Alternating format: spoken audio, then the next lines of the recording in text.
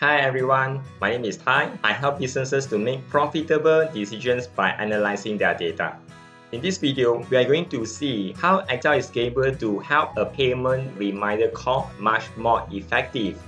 In here, I can see the next calling date and the time. What is the status of the collection? Who is the sales agent? The customer company name, the customer contact person, and other contact details. If I want to see what has happened in the company one, I could just go and the circle here and click, it will show the communication has happened previously.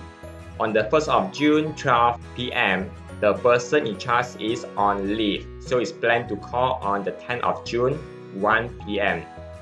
On the 10th of June, 1.21 p.m., this person in charge saying they are waiting for the check to be ready and I'm going to call this person on the 11th of June, 11 p.m. Let's go back to the customer and now I want to add a new call log.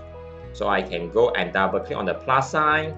So it will show the date and the time and I'm just made the call and the customer say it's pending for signature. That means get the check to be signed by their boss and I want to make sure this thing happens and on the next day which is on the 12th of June I'm going to make the call on the 10 a.m.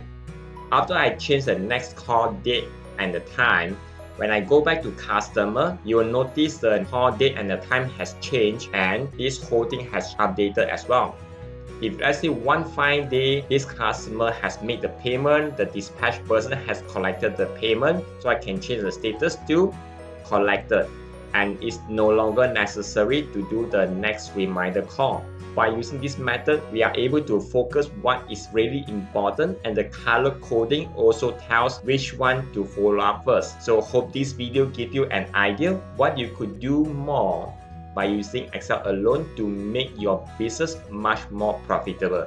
And hope this give you an idea to move forward better and faster.